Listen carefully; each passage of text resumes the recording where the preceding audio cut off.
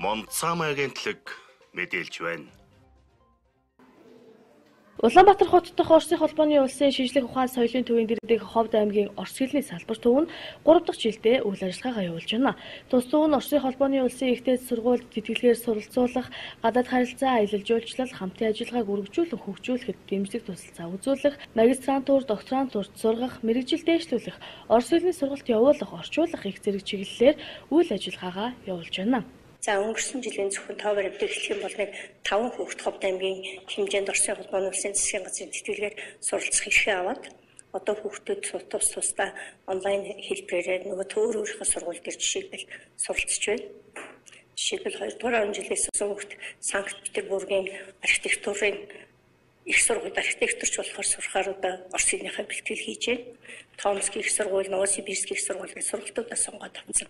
Өнгөрсөн жил бол 5 хүүхэд Орсонд би их баяртай байгаа. Өнөө жил манад нэг 20 гаруй хүүхэд бас хичээлж байгаа. Энэ хүүхдүүд ч гэсэн өнөө жил засгийн газрын тэтгэлэг авчихсан.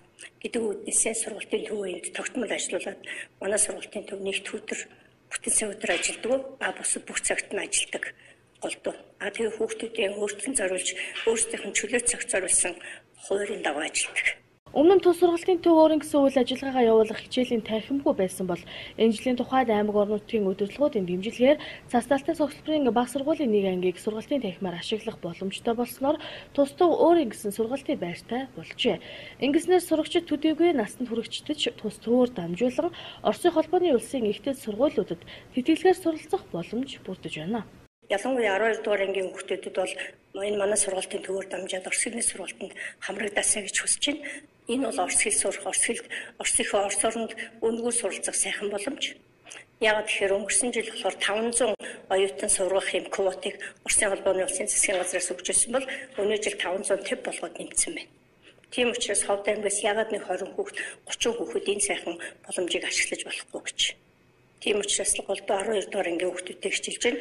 А бас нэг зүйлийг нэмжлэхэд залуучууд магистрантур, докторантур төрийн ард тааж байгаа жишээлбэл компанид ажиллаж байгаа залуучууд, ажилтгүй байгаа залуучууд ч гэсэн манай төвд одоо орс хэлээд сураад цаашдаа энэ магистрантур, докторантур суралцах боломжтой. Засгийн газрын тэтгэлэхээр сургалтын төлбөрийн тэр чигээр нь хөнгөлнө гэсэн үг. Оюутан бол зөвхөн өөрөө оюутныхаа байрны төлбөрийг төлнө. Идэх ухаа өөрөө мэдэж авна. Тэгээд хоол хувцас хунар замын зардлыг мэдээж эцэг нь хариуцна. А дээрэс нь сар бүрхэн сар бүр 100 гаруй мянган төгрөгийн тэтгэлэг өгнө. Стипенд өгнө гэсэн үг. Тэгэхээр энэ бол их сайхан боломж гэж бодож байгаа шүү дээ. Гадаад ихтэй сургуулиудад тэтгэлгээр суралцах хүсэлтэй хүмүүс зөөнгүй байдаг.